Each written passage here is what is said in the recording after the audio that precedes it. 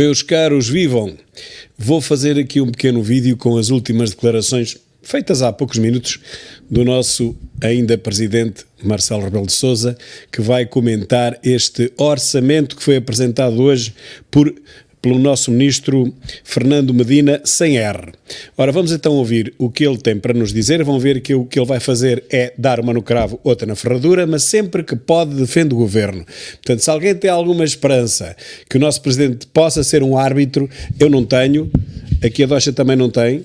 E, e, vocês vão ver que depois disto também não vão ter, porque ele de vez em quando lá, lá dá uma no cravo, mas a maior parte das vezes dá na ferradura. Ora, vamos lá ouvir o nosso Presidente e vamos comentando em tempo real o que ele tem para dizer. Que está preparado para falar, Sr. Presidente. Imagino que tenha ouvido a conferência do Ministro das Finanças e invocou aqui a sua qualidade de professor. Que nota é que dava este orçamento? Vou dar notas a políticos. Não, este claro. orçamento é um orçamento em tempos difíceis. Não vale a pena negar que se trata de tempos difíceis. Pandemia, ainda o resto da pandemia. Pandemia e o resto da pandemia. E daqui a três anos ainda vamos ter a pandemia, porque foi há três anos, mas a gente ainda se lembra dela, não é? Mais a guerra. Agora até conhecemos um período de agravamento na guerra. Mais... A guerra, portanto, o nosso orçamento tem a ver com isso tudo. Vai ter altos e baixos, não sabendo quando é que termina e sabendo que quando há períodos mais críticos, as consequências económicas, financeiras e sociais são maiores. Portanto, é nesse quadro que é um orçamento de, num tempo difícil, é um orçamento com muitas imprevisibilidades. Quanto tempo dura a guerra, efeitos da guerra, consequências na vida de todos os dias das pessoas. Eh, e nesse quadro, eh, este orçamento é um orçamento que tira proveito do ano melhor de 2022? Já vamos falar nisso. O ano melhor de 2022, já vamos explicar porquê. Ele próprio vai dizer porquê. Ora, prestem atenção. A primeira parte de 2022 correu bem, economicamente, com o turismo, com o crescimento. Hum, além do mais, ajudou a ver um orçamento uh, executado em duodécimos. Esta é a melhor de todas. do ano anterior.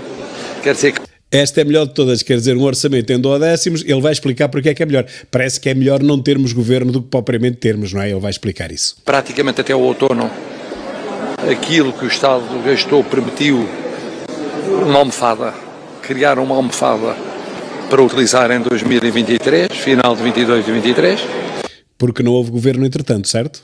Com algum dinheiro do PRR, o PRR atrasou, entendo atrasada a sua execução, temos executado 700 milhões de 6.600 milhões. Executámos 700 milhões de 6.600 milhões e até isso foi bom, no dizer do nosso presidente. É brutal. Tudo o que corre mal, ele transforma em coisas positivas. Uh, disponíveis, e foram agora pedidos mais mil milhões. Pedidos. Que na sua maioria são donativos donativos não são pobres, subsídios, não são pobres. empréstimos. Não são empréstimos, são donativos e há uma proposta pobres. no sentido de poderem ser utilizados, eh, nomeadamente para enfrentar, eh, na parte que não for utilizada de outra forma, eh, para enfrentar os problemas sociais, como é que pode ser isso? Então, mas o PRR não é para isso, não é para dar esmolas aos portugueses, é para desenvolver a economia, é para isso que existe o PRR, não é para se gastar dando esmolas aos pobres, que aí depois gasta-se e não se fez o que se tinha que fazer. As reformas depois não se fizeram. Então, ó Sr. Presidente, como é que vai isso? É isso, não está a correr nada bem. Quer dizer, é um orçamento que tira proveito dessa almofada de 22 para pelo menos uma parte de 23 sempre não sabendo como é que será o resto de 23. E acreditando que isso dá um balanço no produto interno bruto, isso dá um balanço no emprego, isso dá um balanço não haver um déficit, nem um aumento da dívida pública no próximo ano, mas dá uma folga para intervenções sociais seletivas. Quanto não valeu não termos governo estes meses todos? E o acordo de rendimentos é um bocadinho isso, é um acordo que tem uma série de medidas para o imediato, que justificaram porque é que as confederações patronais e a UGT aceitaram, E depois, naquilo que são os outros anos, espera que já não haja guerra, espera que a realidade económica e social melhore, que seja possível até 26 cumprir as metas para que se aponta. É inacreditável, é a primeira vez que se faz um orçamento para um ano que depois tem em vista quatro anos seguintes num, num panorama de guerra. Quer dizer, se há algum eh, panorama em que é impossível prever o dia da manhã, a semana próxima é este. Pois mesmo assim, faça um plano a quatro anos. Portanto, este orçamento é um orçamento que pega na almofada de 22, pega naquilo que podem ser fundos europeus que deslizaram na sua execução a serem injetados na sociedade portuguesa entre o final de 22 e 23. Não pode nada, o PRR não é para isso, pá. E nesse sentido, sem correr riscos de aumentar o déficit e a dívida pública, poder ocorrer, não a todas, mas a algumas situações, as dos amigos, uh, do marido da ministra ou do pai do ministro? As mais difíceis. Ah, são essas. Claro que é atacado pelos dois lados. Ora, vamos lá agora dar uma no cravo, outra na ferradura. Atacado por uns que dizem, mas como é que agora se continua com a mania do déficit da dívida pública quando há tantos apertos? A resposta é, se se entra por aí, significa fazer subir a dívida pública e o déficit, e de repente é um filme que já vimos. Mas é o filme que já vimos que estamos a ver agora. É o mesmo filme. A dívida pública continua a aumentar. Só em percentagem relativamente ao PIB é que não. Mas em valor, em dinheirinho que temos que pagar aos nossos credores, ela continua a aumentar todos os anos. É daqui a um ano, dois anos, cai em cima de nós a reação dos mercados financeiros, cai em cima de nós a preocupação hum, europeia e outra a dizer, bom, estão descontrolados em termos financeiros. Mas sempre estivemos. Pode ser atacado para o outro lado, que é dizer, bom, o que, o que acontece é que verdadeiramente por estar a gastar demais, estar a gastar demais, uh, acaba por uh, criar situações depois são de gestão difícil no futuro. A primeira crítica é mais óbvia. É aquela que é mais feita. Devia haver mais dispêndios em termos sociais, quer no imediato, quer para o ano de 23, continuar a guerra e as consequências da guerra. Pois, mas isso é, lá está, isso é dar esmola aos pobres. Gasta-se o dinheiro do PRR, bem, de qualquer maneira vai, ser, vai ter que ser devolvido para aí, sei lá, 75% ou mais, porque nós não conseguimos gastar isso. Nós estamos para aí num décimo da, da, execução orçamental do PRR, portanto, quando já devíamos estar muito mais avançados, uh, se calhar vamos ter que o devolver e, e neste caso, para ter que o devolver, vale mais gastá-lo com os pobres, que somos todos. Somos todos pobres. A outra já é menos frequente, as pessoas estão preocupadas com a situação do dia a dia. É neste equilíbrio que se joga este orçamento. Portanto, não vai tão longe quanto outros orçamentos de outros países. Como o pacote de ajudas sociais não foi tão longe, para não correr muitos riscos, mas não pode ignorar que tem de ir acompanhando minimamente problemas de setores sociais que estão a sofrer de forma mais intensa neste momento, sobretudo a inflação. Nesse sentido, é o orçamento possível. O governo podia ter ido um bocadinho mais além no orçamento do Estado, uh, nos salários e também nas pensões, tendo em conta que este ano a taxa de inflação é de 7,4%. Cá está. Quer dizer, se olhar para aí, uh, a crítica que é feita é a inflação subiu tanto. Se devia ter ido mais longe, quer nos salários públicos, quer nos salários privados. Espera lá, mas a inflação subiu tanto, mas uh, estamos a falar de 7,4. Bem, é que a inflação real na alimentação para os mais pobres, para aqueles que ganham o ordenado mínimo, que ganham 705 euros, a carne e o peixe já subiram mais de 35%. A inflação não é 7, é um bocadinho superior. É talvez o quíntuplo daquela que aparece no INE. Pois é. Não cobrir apenas parcialmente, mas cobrir tudo aquilo que se pensa que vai ser a inflação. A resposta é esta. Por um lado, o governo tem uma leitura sobre a inflação que é uma leitura relativamente otimista. Acha que a inflação vai começar a descer. Por milagre. A partir do fim do ano e ao longo de 23. Sim, sim, por milagre. Há quem não concorde, há quem concorde. Mas, Presidente, o que é que acha? Mano Cravo. Outra na ferradura. A minha posição é a seguinte: Diga lá qual é a posição. uh, ninguém tem certezas. Ora, muito bem. Quer dizer, Eu não tenho uma bola de cristal. Há países na Europa baixou. e no, no espaço da OCDE que já começaram a descer em termos de inflação. Há outros que não. Pois. Ou subiram um bocadinho ou estão muito altos. Eu vou-te explicar um que não, não desceu ainda a inflação. Chama-se Portugal. E portanto, e, portanto o, governo acha, o governo acha que provavelmente em Portugal a inflação irá descer. Por milagre, só por milagre, mais nada. E daí não ir tão longe no aumento de salários públicos e privados. Mas também ao mesmo tempo pensa, sobretudo em relação aos salários públicos, isso iria fazer, não direi disparar o déficit, mas desequilibrar claramente mais as contas públicas. Pá, mas tens que decidir ou fazemos acompanhar os ordenados da, da luta contra a inflação e nesse caso temos que subir de acordo com a inflação ou não. Se não fazemos isso, então há um empobrecimento generalizado. Não há uma terceira via. Tudo o resto é treta. É este equilíbrio que não acaba por não agradar nem a gregos nem a troianos. Uns queriam mais, depois há uns economistas que dizem: atenção, isto é perigoso. Que o governo está fazer a navegação possível à vista da costa. Navegação à vista, até que enfim que apareceu a frase que realmente se ajusta ao que está a passar neste preciso momento. É navegar à vista, porque realmente ninguém sabe o futuro. Mas como é que é possível que ninguém saiba o futuro e se faça um plano para quatro anos, para os anos que vêm a seguir? Essa parte é que eu não entendo. Essa é não Toda a gente está a navegar à vista da costa. Está mais otimista? É equilibrado. Não, eu, eu, eu reconheço que é um orçamento que parte de uma situação com folga em 22 e, portanto, houve a preocupação de criar a folga em 22. Não, não, não houve preocupação nenhuma em criar a folga. A folga foi criada por causa dos duodécimos. Disseste isto há 10 minutos. Já te esqueceste, Marcelo? Foi há 10 minutos que explicaste isto. Não havia governo e governou-se por duodécimos, isso é que deu a folga.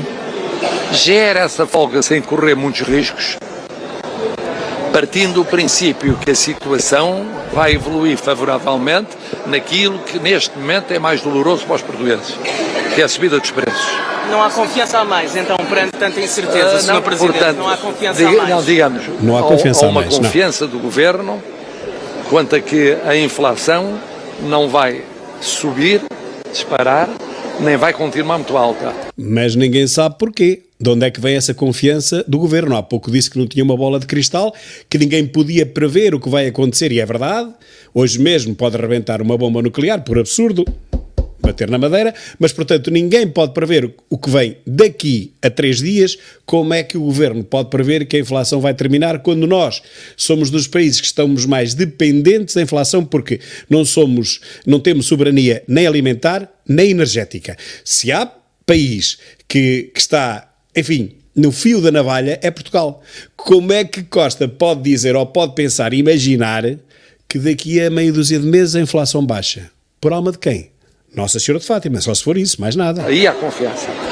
No resto, o Governo vai gerindo de tal maneira que, eh, como se verá no ano que vem, tem sido a prática nos últimos anos, vai ajustando semana a semana, mês a mês, ao longo do ano, com a tal navegação à vista da costa.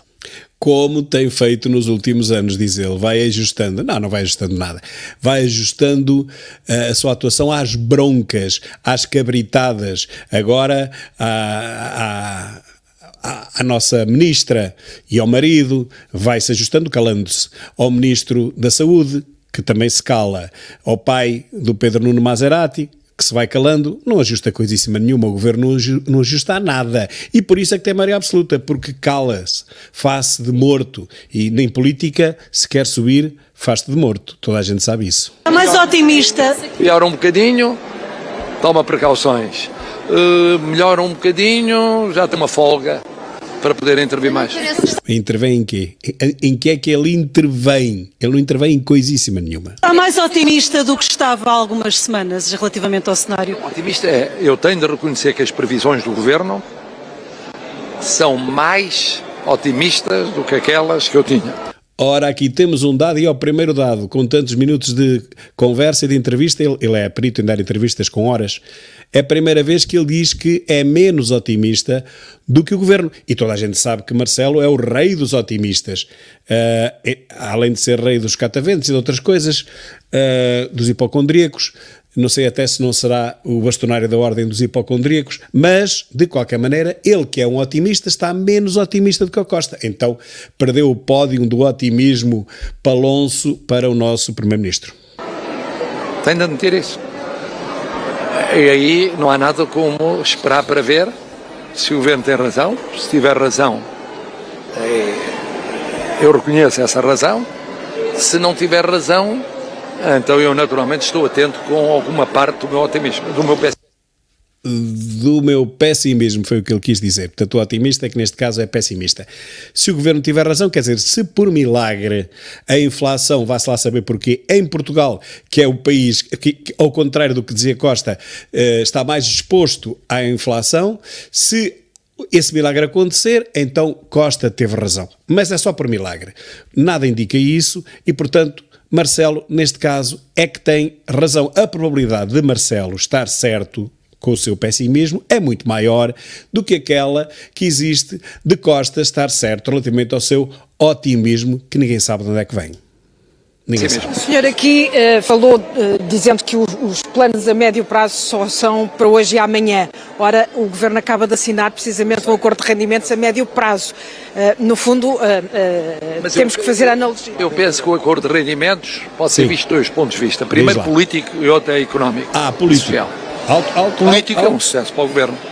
Atenção que a partir de agora Marcelo passa a ser um comenteco, vai comentar o efeito político. É um Presidente da República e está a comentar o sucesso político do governo ao conseguir chegar a acordo com as confederações dos patrões e com os sindicatos. Mais à frente falaremos eh, ou esmiuçaremos um pouco eh, porque é que Costa conseguiu ter esse sucesso e à custa de quem? À custa de quem?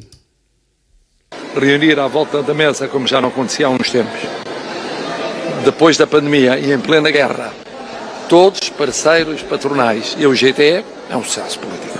Temos que perceber o que é que ele lhes prometeu, mas vamos saber isso dentro em breve. Dentro em breve. Do ponto de vista económico e social, é uma forma muito curiosa e talentosa, talentosa. de satisfazer algumas reivindicações imediatas das confederações patronais e do. Oferecendo... E, portanto, as medidas mais concretas são as imediatas.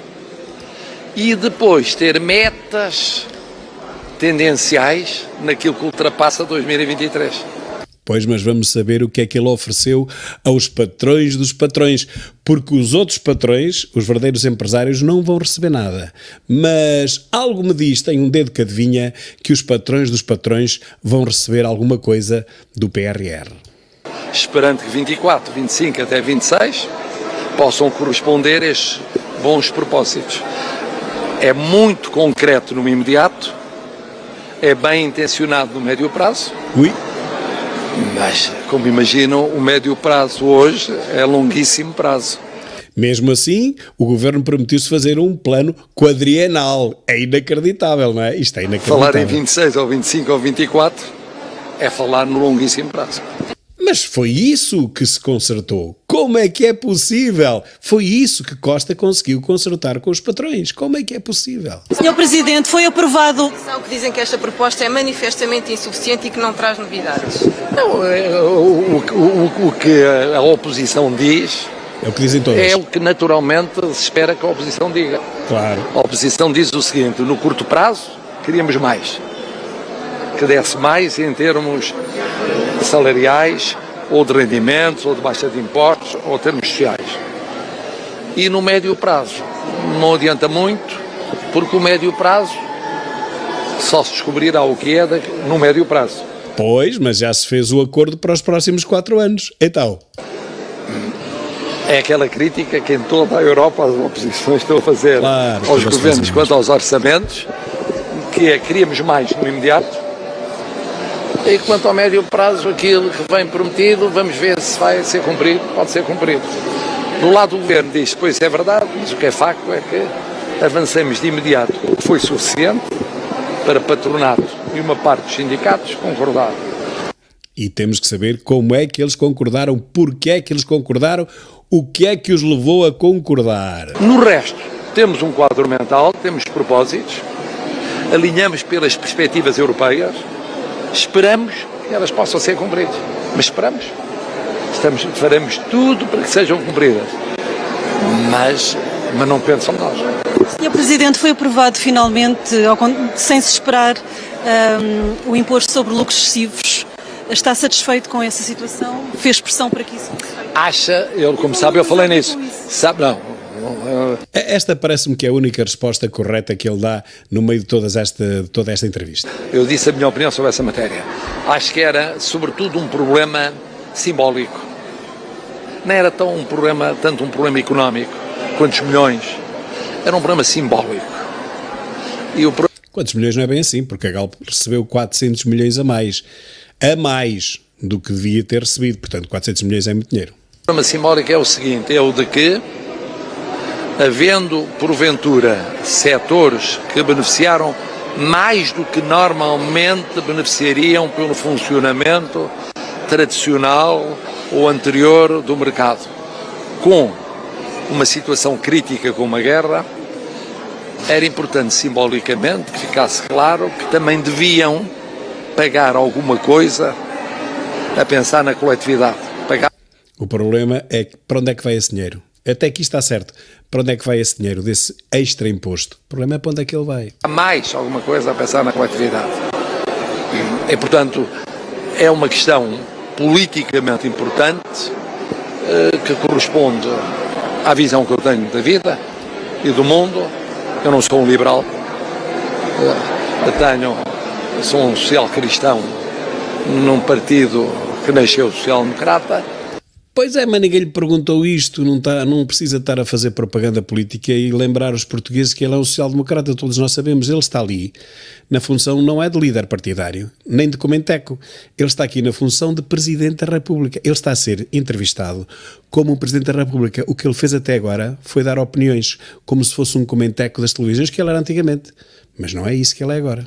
Se afirma social-democrata e agora eh, tem de representar todos os portugueses, tenho a impressão que a maioria dos portugueses pensa assim, que é verdade que os lucros de certo setor não são só devidos à guerra, resultariam no funcionamento do mercado, em situações como essas, noutras situações são penalizadas as empresas, mas é simbolicamente importante que uma parte seja um pouco mais tributada, apanhada pelos impostos, como sinal de solidariedade militante e ativa para com os que, que são os mais pobres e mais dependentes, estão a sofrer mais por causa da guerra. E aqui é que nós divergimos. Realmente está tudo certo, o princípio está correto. Isto é como a esquerda. Quem os ouvir falar não os leva presos. Mas depois, na prática, esse dinheiro vai ser revertido para aqueles que uns podem precisar, mas muitos outros não precisam de nada e estão sempre, sempre, sempre a ser beneficiados e estão sempre a recusar trabalhar. Vão aos centros de emprego, vejam que estão completamente cheios e poucos são aqueles que querem trabalhar. Eu estou a dizer poucos, poucos, de uma forma, enfim, mais simpática. Sr. Presidente, só mais uma questão, porque na questão da, da, taxa de inflação para o ano, que o Governo prevê de 4%, este ano 7,4%, é quase metade, o Sr. Presidente já disse que acha otimista e disse que o seu valor era mais alto. Como é que interpreta que o Governo faça esta conta e qual era a sua previsão para a inflação para o ano? Não, a interpretação do Governo é muito simples. Olha para a evolução. Em muitos países da OCDE, nomeadamente europeus, está a cair a inflação. Está a cair. Não é todo. Mas cá em Portugal não está, nem dá mostras de estar, nem sequer de começar. Pelo contrário, neste momento ainda estamos, como é que eles diziam antes? Era preciso achatar a curva. Bom, neste momento a curva, ela é muito chata para a nossa vida, mas não está nada achatada. Ela está em parábola e crescente. Portanto, Portugal não é um desses países. Mas está a cair. E está a cair já há dois meses. E, portanto, há a ideia de que no fim do ano, novembro, dezembro e depois claramente janeiro, fevereiro, março, haverá uma queda clara da inflação. Mas não Isso em Portugal. Não só dá o resultado que é o resultado para que aponta o Governo este ano, como dá um resultado mais baixo, próximo dos 4% no ano que vem. Mas como é que pode dizer isto? É, em que é que se baseia? Não há estudos, nem pode haver estudos, nós não sabemos o dia da manhã. Como é que podem imaginar que para o ano que vem a inflação vai ser 4%? Até pode ser 14, 24, ninguém Essa a imagina. perspectiva. E que isso vai acontecer, inevitavelmente, porque entretanto os vários países vão encontrando formas alternativas de recurso à energia mais barata. Isso vai demorar anos, ó ó tio Marcelo, isso vai demorar anos. Está à espera do, do Sines, está à espera do gasoduto, isso demora anos. Não é nos primeiros três meses do, do ano que vem. Não engana as pessoas, pá, não engana as pessoas. as que implicam a dependência da Federação Russa, ou outras que já estão a trabalhar nisso, comprando noutros mercados. E, portanto, que, nomeadamente, Compram noutros mercados, os outros mercados vendem mais caro. Isso é óbvio, é a lei do próprio mercado, não é por aí. Portugal estaria em condições de não ser tão penalizado assim no ano que vem. Como é que não está em condições de ser penalizado? Como? Este é o raciocínio do governo. Isto O é meu raciocínio originário era de que, mesmo que seja assim, a uma imprevisibilidade pode levar a que a taxa de inflação possa ser um bocadinho mais elevada. Não é um bocadinho, pode ser o dobro e pode ser o triplo, não é um bocadinho. Pelo menos no começo do ano que vem. Ao, corresponde, ao que o governo responde, dizendo, pois é, mas o cálculo é para o ano que vem todo. Ora, vejam que ele está-se a pôr, ele está-se a pôr no lugar do Primeiro-Ministro. Ele faz as perguntas e dá as respostas como se ele fosse o António Costa. Isto é inacreditável. Esqueceu-se completamente que é Presidente da República. Está aqui um comentador televisivo, devia estar sentado no sofá ao lado do Gandanoia, do Marcos Mendes. E mesmo que a inflação ainda esteja a nível de 5, 5 e tal, no começo do ano que vem, no final já não está. Portanto, é um problema de contas. Eu respeito as contas do governo e ficarei muito satisfeito se for o governo a ter razão. Ora, isso nós já sabemos. Nós já sabemos que Marcelo ficará muito satisfeito se for o governo a ter razão, porque ele gosta muito que o governo tenha razão para não ter que dissolver o Parlamento, que é a única bomba atómica que ele tem. Ele não pode demitir o Primeiro-Ministro. Portanto, se tudo começar a correr muito mal, não lhe resta outra alternativa senão dissolver o Parlamento. Ele já ameaçou duas vezes, ou já lembrou, para dizermos melhor, duas vezes que tem esse poder, não precisava, nós todos sabemos, mas o simples facto dele eh, referir isso eh, devia ter posto o Primeiro-Ministro em alerta. E não sei se não pôs, porque nunca mais se viu Costa nos últimos dias, hum, não se tem visto Costa. Manda os outros para a frente e ele resguarda-se. Bom, vamos ver. Obrigada. Esta é a melhor parte, ele andar às voltas sozinho. Esta é a parte que eu gosto mais da entrevista, sozinho às voltas. Meus caros, esta eh, tarde depois vamos disto, ouvir as Ah, declarações vamos parar aqui. Depois disto, o que é que eu tenho para vos dizer? Que o nosso amigo Marcelo está igual a si próprio, um catavento igual a si próprio, uma no cravo, outra na ferradura. Neste caso é duas no cravo do governo e uma na ferradura.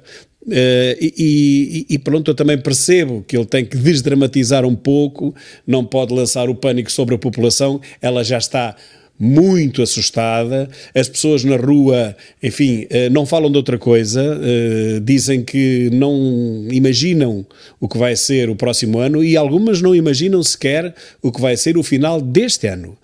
Uh, reparem que está previsto, eu tenho aqui um, um passarinho que me diz ao ouvido que está previsto, por exemplo, que as pellets possam chegar a 15 euros uh, na altura do Natal. Toda a gente está a ganhar dinheiro com isto. Há pessoas a ganhar, pessoas, empresas a ganharem milhões só com este negócio. Em tempo de grande disrupção, como eles dizem agora, de grandes solavancos sociais, há gente a ganhar milhões. Interessa que haja disrupção social para muita gente ganhar muitos milhões. Eu até sou capaz de dizer que, se calhar, a maioria das empresas, neste momento, tal como aconteceu com a pandemia, estão a ganhar mais dinheiro do que se tudo estivesse normalmente. E aquelas que não estão, rapidamente têm que se pôr. Por exemplo, os restaurantes vão ter que aumentar os preços muito rapidamente, pois a carne e o peixe disparou 30 e tal por cento desde o ano passado, desde a mesma data. Já tinha começado no ano passado, esqueceram-se disto. Em dezembro já havia inflação, estão-se a esquecer disto. Agora, relativamente a este orçamento que eu ouvi hoje ser anunciado por Fernando Medina sem R, O que eu vejo são realmente é uma manta de retalhos, quer dizer, é uma é, é são medidas mais ou menos avulsas, elas nem sequer encaixam umas nas outras.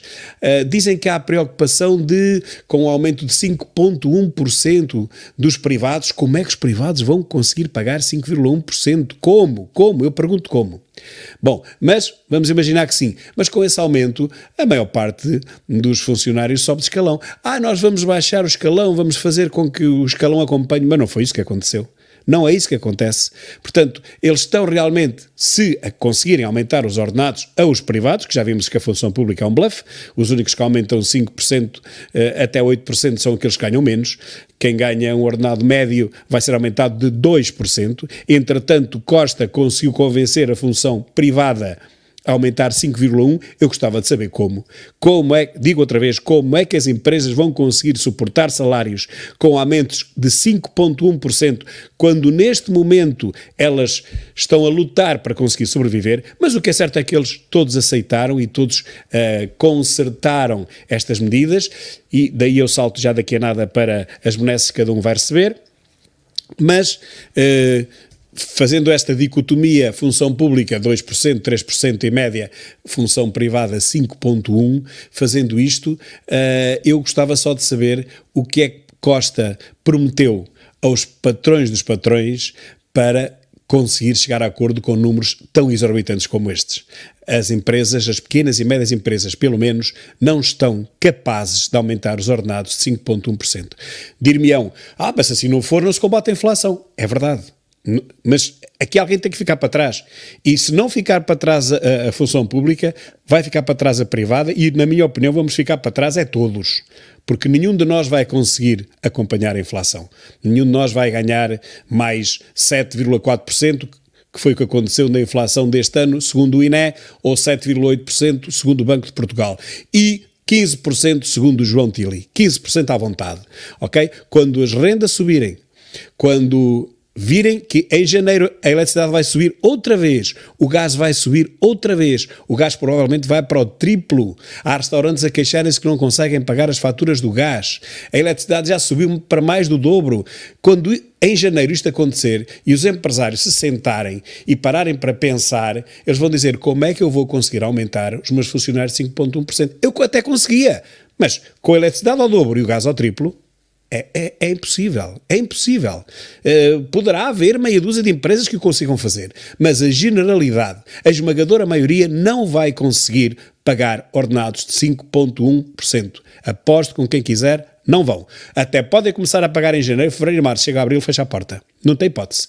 Isto vai ser fechar empresas de uma ponta à outra. Vai tudo para o centro de emprego para justificar os ordenados de quem lá trabalha. Ok? Não vejo isto de outra maneira. Portanto, este orçamento não está capaz de combater a inflação, já, já nem quero saber de, de crescimento deste país relativamente seja o que for, isso é tudo treta, é tudo mentira, é uma coisa a socialismo, que é enganar o povo, fazem milhões de contas, milhões de projeções, milhares de modelos, tudo sobe em termos de, dos gráficos que eles apresentam, mas depois na vida real aquilo é zero. Vejam o que está a acontecer com o PRR. Nós não temos nem um décimo do que devíamos ter já neste momento aprovado.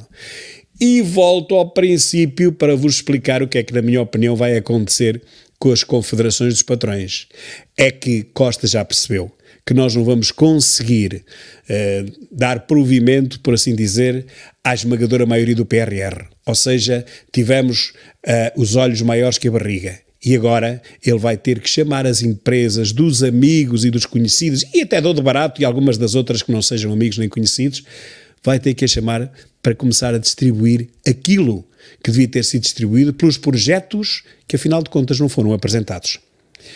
Obrigaram o, o Mário do Douro Azul a devolver os 40 e tal milhões. Ainda o vão chorar muita vez, porque esses 40 e tal milhões ou serão mesmo devolvidos a Bruxelas, ou então terão que ser gastos noutras coisas. E outras coisas terá que ser em empresas que não tiveram ocasião, não quiseram, não, não tiveram categoria para apresentar os projetos do Mário Ferreira, mas vão ter que apresentar outros quaisquer, porque o dinheiro não pode ser devolvido. Se o dinheiro for devolvido, nós entramos em bancarrota imediatamente. O que nos vai salvar mais um ano ou dois é o PRR. Se nós devolvemos o PRR, meus caros, nós ficamos pior do que estava Sócrates quando chamou a Troika porque foi Sócrates quem a chamou, não foi Passos Coelho. Nunca esqueçam disso. Continuaremos a acompanhar as reações dos partidos, para já todas elas são negativas, e a minha é super, super negativo. Com as medidas que hoje vimos anunciadas, ou elas são completamente revertidas e multiplicadas por três e tem que se gastar o dinheiro da bazuca do PRR nisto, ou então, meus caros, se é para ser só o que hoje apresentou Fernando Medina sem R, então olhem, meus amigos, nós estamos é fritos. Um grande abraço e até amanhã.